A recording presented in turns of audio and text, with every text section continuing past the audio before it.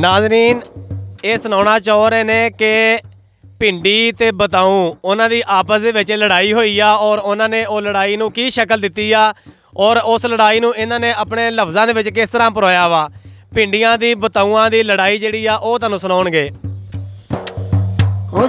ਰੰਗ ਦੀ ਗੂੰਦੀ ਏ, ਉਹ ਗੂੰਗਲੂ ਛੋੜ ਗਿਆ ਪਿੱਛੂ ਮੂਲੀ ਬਦੀ ਰੋਂਦੀ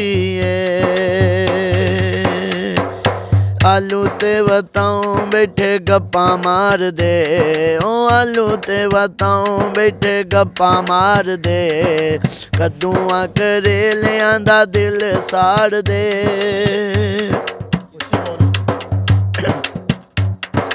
ਉਹ ਆਲੂ ਰਾਇਆ ਜੇ ਨਵੇਂ ਕੱਪੜੇ ਵੀ ਪਾਏ ਨੇ ਉਹ ਅਰਬੀ ਨੇ ਵਾਲਾ ਤੇ ਕਲੇ ਪਲਾਏ ਹੋਏ ਨੇ ਉਹ ਪਿੱਠੇ ਔਰੀ ਮੁੱਛਾਂ ਨੂੰ ਪੈ ਵੱਟ ਚਾੜਦੇ ਕਦੂਆਂ ਕਰੇਲਿਆਂ ਦਾ ਦਿਲ ਸਾੜਦੇ ਆਲੂ ਤੇ ਵਤਾਉ ਉਹ ਗੋਂਗਲੂ ਨੇ ਅੱਜ ਨਵੀਂ ਪੈਂਟ ਸ਼ਰਟ ਪਾਈ ਏ।